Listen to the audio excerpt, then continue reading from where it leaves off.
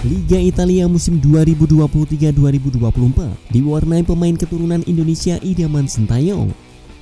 Para pemain ini sempat dikaitkan dengan naturalisasi timnas Indonesia. Di bursa transfer musim panas 2023, setidaknya ada tiga pemain idaman Sintayong yang hijrah ke Liga Italia.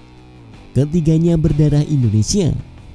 Musim 2023-2024 pun bakal jadi awal bagi ketiga pemain tersebut berkarir di negeri pisang. Lantas, siapa sajakah mereka? Berikut ulasannya.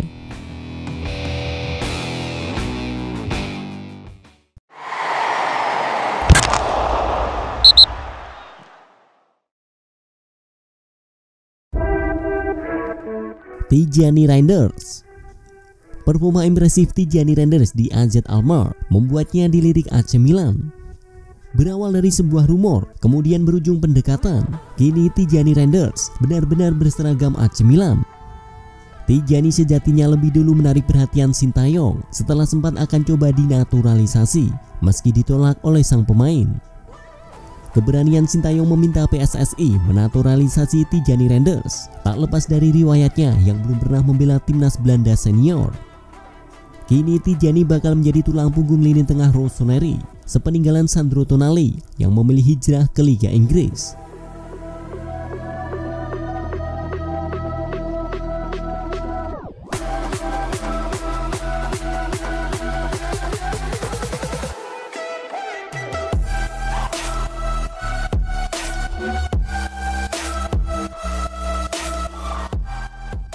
Emil Audero Karir Emil Audero Mulyadi tidak mati meski Sampdoria terdegradasi ke Serie B mulai musim 2023-2024.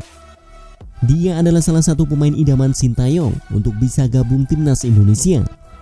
Tawaran naturalisasi PSSI terhadap Audero Mulyadi masih terus dalam proses hingga saat ini, namun tidak menemui kejelasan. Meski begitu, peluang Emil membela timnas Indonesia suatu hari nanti masih terbuka lebar selama belum ada sikap dari sang pemain. Kini Emil tengah dalam proses bergabung dengan Inter Milan. Sosoknya digadang-gadang bakal menjadi kiper kedua Nerazzurri sebagai pelapis Jan Sommer.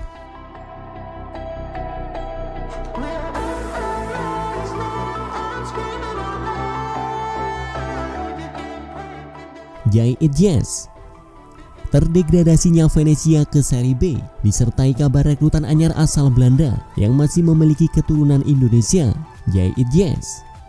Jai Idjes termasuk dalam daftar pemain yang diminta untuk dinaturalisasi oleh Sintayong. Sang pemain pun membuka jalan tersebut. Aku terbuka untuk itu, tapi satu sisi aku ingin berkarir di Belanda. Satu sisi aku ingin juga membela timnas asal kakekku. Itu adalah suatu kehormatan. Jadi tentu aku terbuka untuk itu. Kata Jai Idyes di kanal YouTube Yusanugraha.